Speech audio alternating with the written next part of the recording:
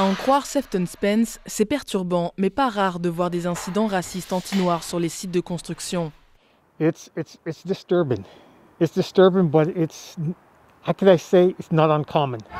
Cet été, alors que le mouvement Black Lives Matter prenait de l'ampleur partout dans le monde, l'apparition de graffitis ou de nœuds coulants sur des chantiers torontois a remis ce problème sur le devant de la scène. Et c'est pour le contrer que s'est créée l'Association des entrepreneurs afro-canadiens.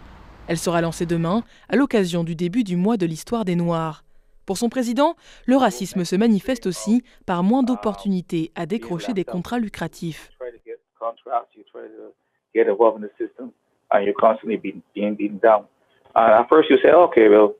Au début, tu penses que c'est une question d'expérience, dit-il.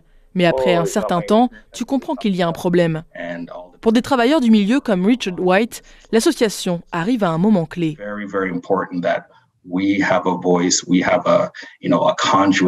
C'est très important qu'on puisse avoir une voix unie qui ouvre le chemin vers les grands de l'industrie, avance-t-il.